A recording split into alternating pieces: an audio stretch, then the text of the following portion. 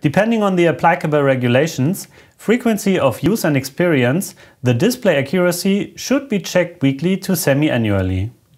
We use a Snooper test set for testing the Snooper Mini Methane with a test gas can 1 volume percent methane by volume and the pressure reducer with valve and test head. The test head contains an integrated conditioner for moistening the test gas. Screw the pressure reducer onto the test gas can. Do not jam the pressure reducer, otherwise the thread can be damaged.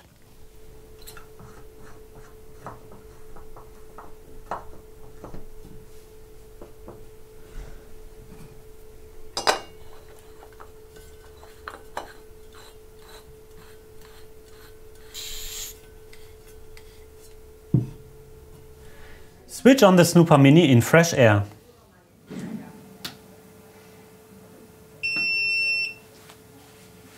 Wait until the Snooper Mini indicates a stable zero point.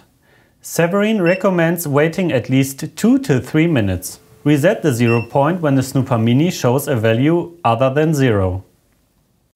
Carefully insert the sensor cap of the Snooper Mini onto the pressure reducer test head as far as it will go. Apply the test gas. Open the valve on pressure reducer. Wait until the measured value no longer changes.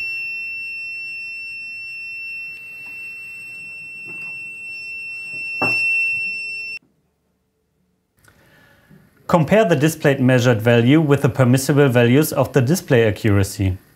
In our case, this is 0.8 till 1.4 volume percent. If the values are within the specified range, the Snooper Mini is ready for use. Otherwise, you must carry out an adjustment.